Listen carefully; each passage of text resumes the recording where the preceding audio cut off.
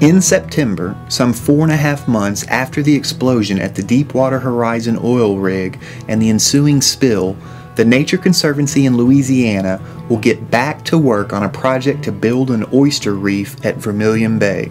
The project is being funded by a grant through the National Fish and Wildlife Foundation and is being built at the Audubon Society's Paul J. Rainey Sanctuary. The project here halfway completed at the time of the oil spill, represents one of many such restoration projects in which the Conservancy is involved.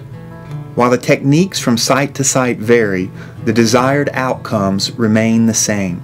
Increased habitat for marine species, including shrimp, crab, and game fish, improved water quality, and shoreline protection.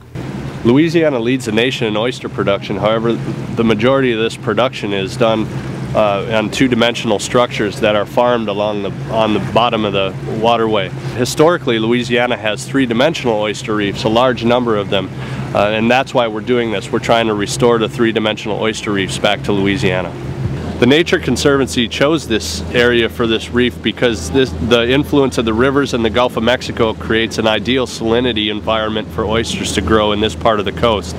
And this is evidenced by the other oyster reefs that we see in this area.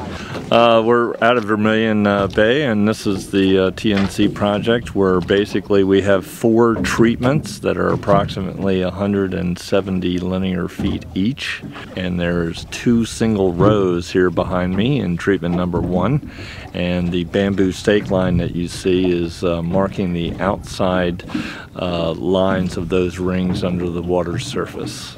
Our concrete rings are five foot diameter and they're approximately 29 inches tall and they have a biological ingredient that um, provides an attractant for the oysters. We've decided to uh, use airboats with a uh, extendable boom crane that will minimize our impact in doing this, which will keep us from dredging any channels to try to get to the project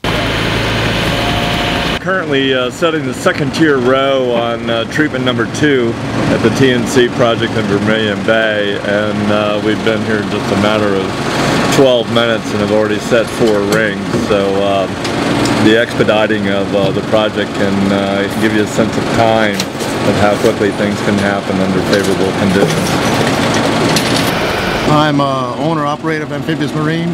We provide the boats, barges, and airboats to deploy these uh, reefs.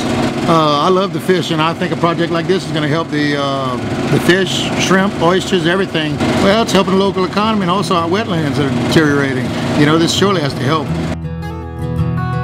Vermilion Bay is located some 130 miles west of Grand Isle and St. Bernard Marsh, where the Conservancy began in April and soon will resume a project to restore 3.4 miles of oyster reefs that border some 350 acres of marshland. Here, the restoration technique involves the use of interlocking triangle structures made of welded steel with space for mesh bags of oyster shells a technique proven to be highly successful at the Conservancy's Mad Island Marsh Preserve in Texas.